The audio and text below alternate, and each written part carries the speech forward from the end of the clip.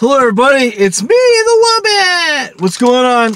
I am here with another review. Imagine that. Guess what it is today, kids? I don't know, Mr. Wombat. What is it? It's Twizzlers. And it's upside down. It's Twizzlers in the crazy key lime pie. These are Twizzler filled twists. Not sure what that means, but it says it is the flavor of Florida.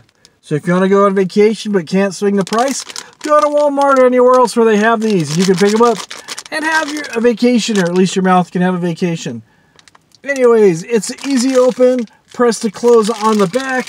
So I guess you can open it up and reseal it to maintain freshness. There we go. Oh.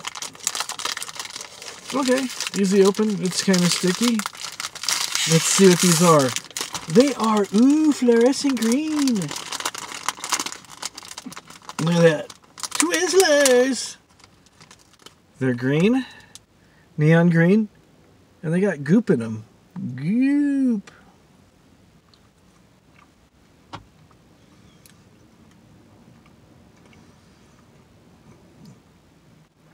Very limey.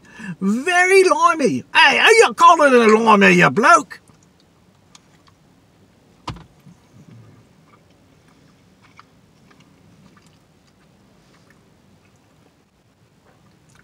It's nice and tangy. It's it's kind of like a lime um, starburst, but very soft like a Twizzler. These are very fresh. Very limey, very citrusy, very good. So anyways, check them out. Have a great one. See ya.